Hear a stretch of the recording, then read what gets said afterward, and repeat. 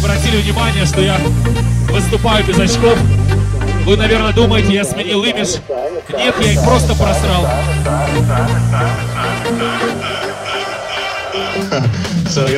Для тех, кто видит меня впервые, мне 38 лет. Я из Киева и в детстве мечтал быть дворником. Но папа меня отговорил.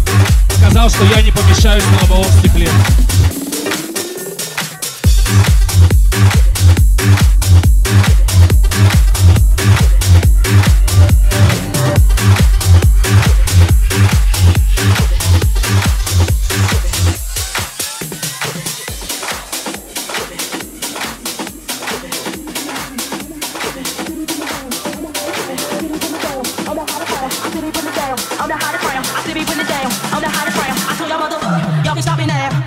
В зале, а без очков вообще много что видно.